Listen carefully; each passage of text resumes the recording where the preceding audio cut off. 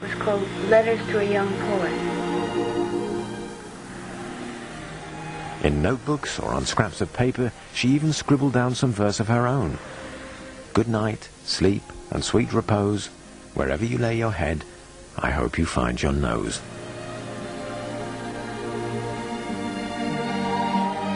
Twelfth of April, 1955. Ed Murrow, a big star at CBS, invited himself round to the Greens.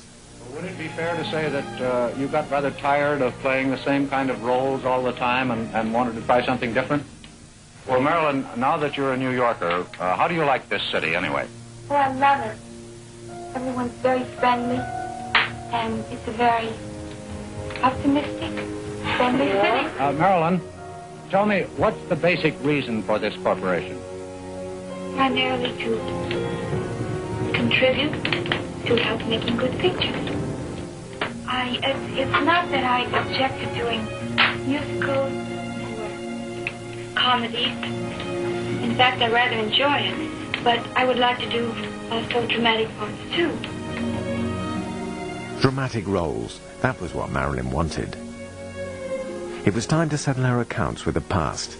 The Seven Year Itch, her last film made in Hollywood, was being released. A popular Broadway New York theater radiates glamour for the sneak preview of the CinemaScope version of The Seven Year Itch and the birthday of its star. DiMaggio accompanied her to the premiere as if nothing had happened between them over the last six months. With a personal appearance, escorted Who would have guessed, seeing her that night, that at the age of 29, she would soon be undergoing yet another abortion, a 13th perhaps, and that she would never have a child? Love, need it, That's a very interesting point of view.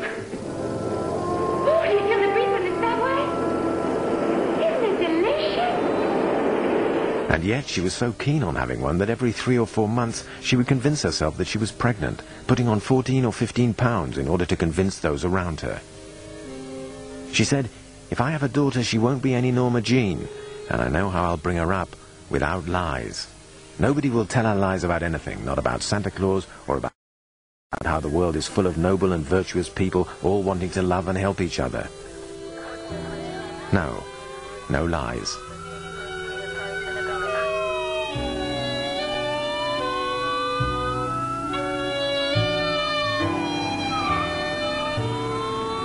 For the moment, Marilyn and Milton's company wasn't making them a penny, and it was Milton who was covering all the expenses. The suite at the San Regis Hotel, beauty products, clothes. Still concerned about her physical appearance, Marilyn was also becoming more and more preoccupied with perfecting her skills as an actress. With incredible modesty, she became a student again, enrolling at the Actors Studio, run by the most famous and most controversial of all American theater professors, Lee Strasberg, who was venerated at the time like the leader of some cult.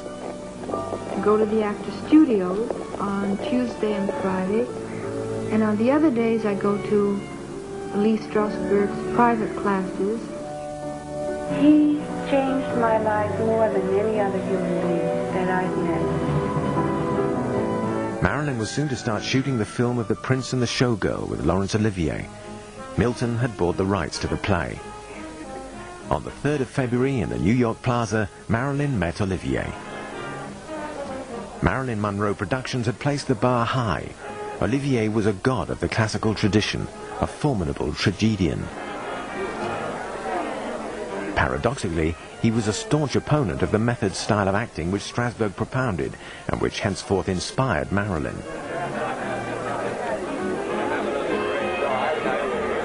Strasberg was almost like a therapist. He encouraged his actors to be introspective, being convinced that they would find the emotions they sought in their own personal history. To Olivier, the actor's studio was little more than a sect.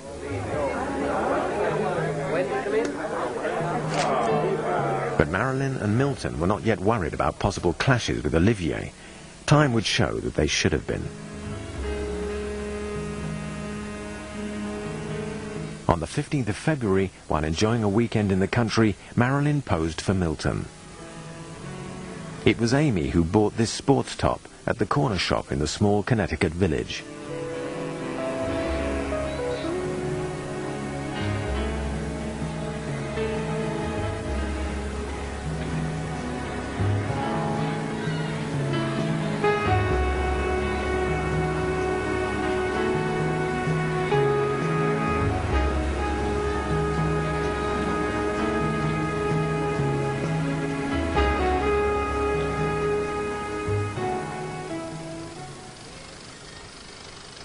The next day, Marilyn went happily back to the studio at 480 Lexington Avenue.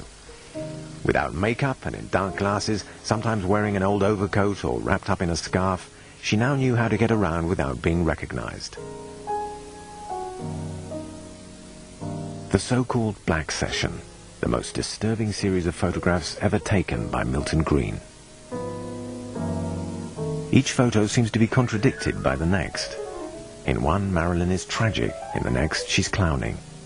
Inaccessible and seductive by turn.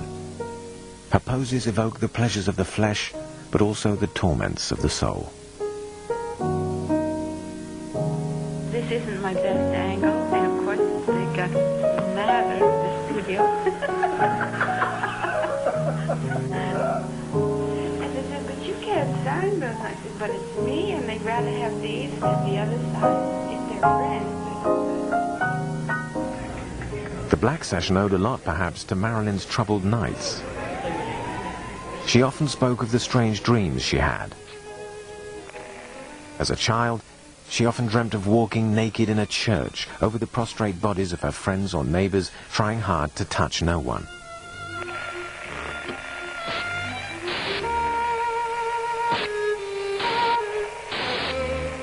She would hear voices screaming for help.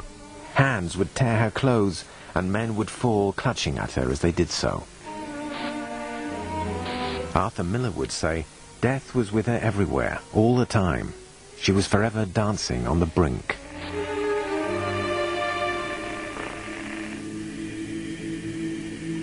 Admiring a dream scene in white marble by Rodin, she immediately identified herself with a sensual young woman being held in the palm of God's hand.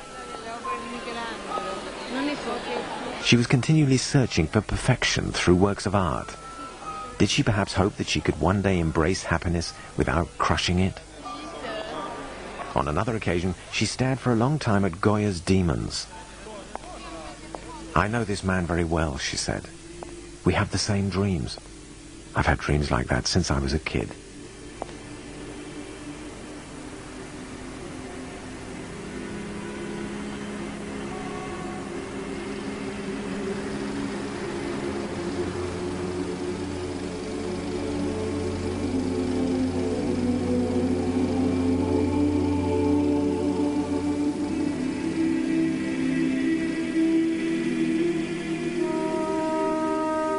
As if for a lover's tryst, Marilyn met Milton and spent the whole night in his studio, shooting the second Black Session.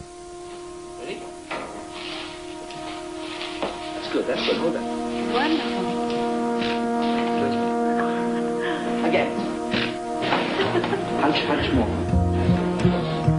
That's good. And the hair back, and the hair back. Again. That's great, that's Good, good. Come on, more of that, more of that. Now give it to me, really give it to me. Come on. Come on.